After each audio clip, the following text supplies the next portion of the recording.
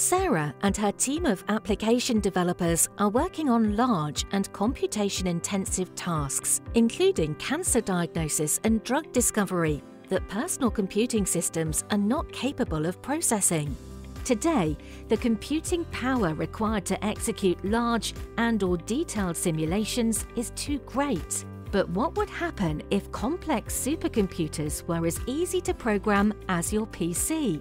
These high-performance computing systems are constantly evolving, increasing their capability of processing sophisticated and computation-intensive tasks.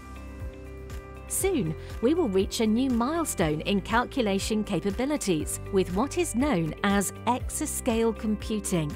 Exascale computing is essential in providing the computing power Sarah's team needs to conduct her research, but requires a complete rethinking of compute systems and the way in which we approach programming. Extra performance comes at a cost. With the inclusion of specialized low-energy components, we increase the resource diversity and thus the complexity, which is very difficult to handle. The European project EPEEC aims to provide a manageable platform to help in the development of applications for the upcoming exascale systems.